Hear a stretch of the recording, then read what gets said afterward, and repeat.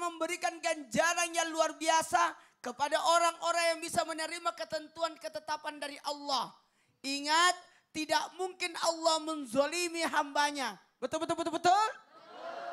Ketika orang menerima ketentuan yang Allah tentukan padanya, maka akan mendapatkan tiga keutamaan. Apa keutamaan tiga itu? Mau tahu? Yang dia akan dapatkan bukan hanya di dunia, tapi akan mendapatkan di akhirat. Akan mendapatkan di akhirat. Mau tahu?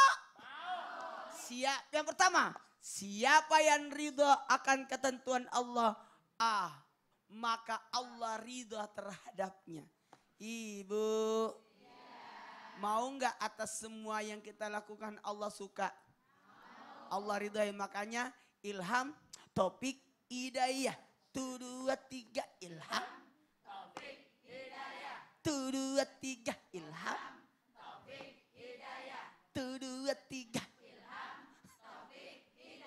Yang di rumah ilham topik hidayah ini ilham dari Allah topik kecocokan hidayah itu pantulan.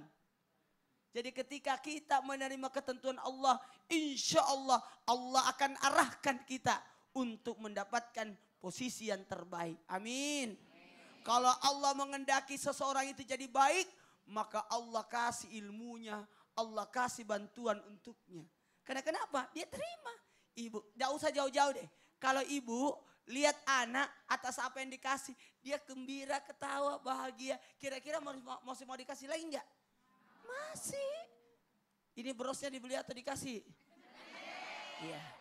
Contoh bros dikasih. Hah, makasih. Ah, nanti kalau ada bros aku lagi yang baru, aku kasih kamu lagi deh. Karena kenapa? Dia dia manfaatkan, dia gunakan, dia terima. Ada orang sudah dikasih nasi kotak, lalu nanya lagi, kamu dapat apa?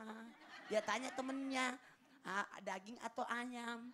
Terus temannya berkata, saya dapat ayam. Terus dia tanya lagi, karena dia tidak ada syukur-syukurnya. Kamu eh, pahanya atau dadanya? Kan gitu. Gak usah jauh-jauh deh. Kalau terima acara-acara kue, dia lihat lagi, kamu kuenya apa? Kan sama aja kuenya. Dia tanya lagi, bisa tukaran nggak kuenya? Ah, inilah orang. Ibu, mau mendapatkan kelesatan iman? Terima ketentuan Allah. Zalika takdirul zizil alim. Semua sudah ditetapkan. Sudah begitulah. Ada orang uh, ya bertanya, datang kepada Rasulullah. Namanya Sa'labah. Dia tanya datang kepada Rasulullah. Saya orang miskin. Bisakah saya jadi kaya? Kata Nabi sudah cocok kau jadi orang miskin. Ada memang orang pantas jadi orang miskin.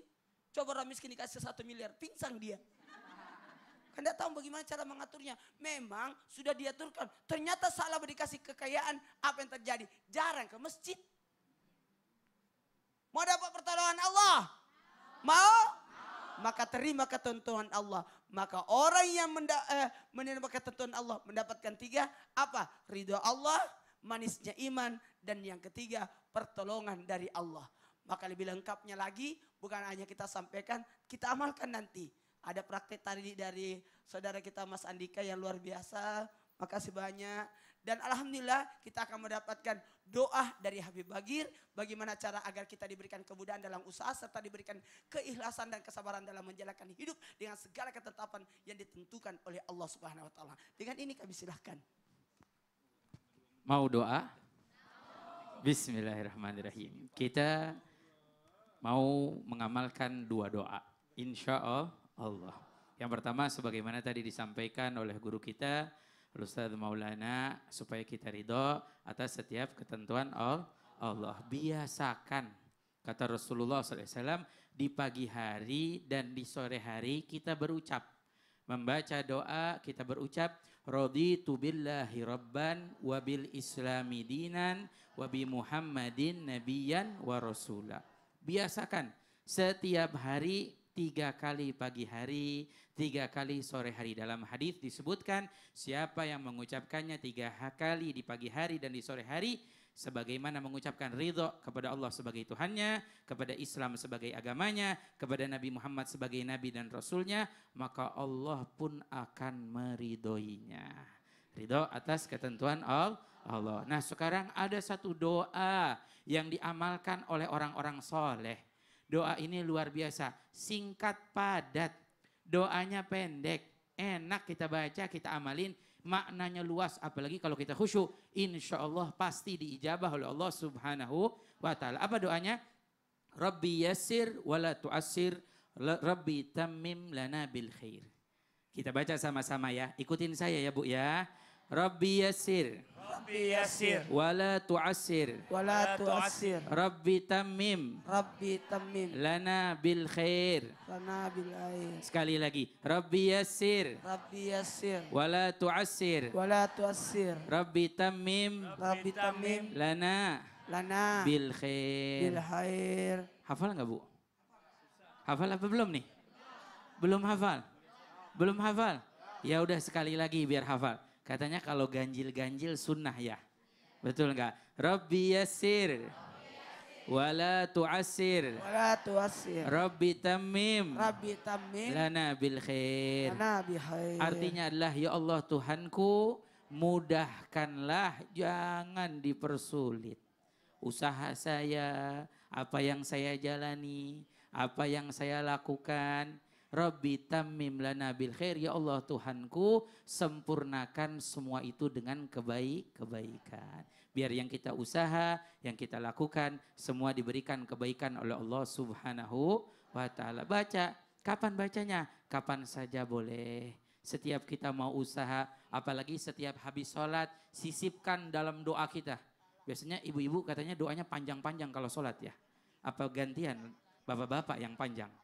Ya, isisipkan dalam doa kita seperti itu. Insya Allah mudah-mudahan kita bisa mengamalkannya. Amin ya robbal. Alamin. Seorang manusia kalau dilihat dari fisiknya dia bukanlah manusia yang mulia. Tapi ternyata namanya disebutkan di dalam Al-Quran sebagai orang yang penuh hikmah. Siapa dia? Luqmanul Hakim. Karena sesungguhnya Allah memang tidak pernah melihat daripada fisik seseorang. Melainkan Allah menilai daripada usaha serta akhlak daripada seseorang. Masya Allah, Alhamdulillah, Alhamdulillahirrahmanirrahim. Demikianlah perjumpaan kita hari ini. Semoga pertemuan kita hari ini bermanfaat. Mohon maaf atas segala kekurangan. Wabillahi taufiq wal hidayah. Wassalamualaikum warahmatullahi wabarakatuh. Di manakah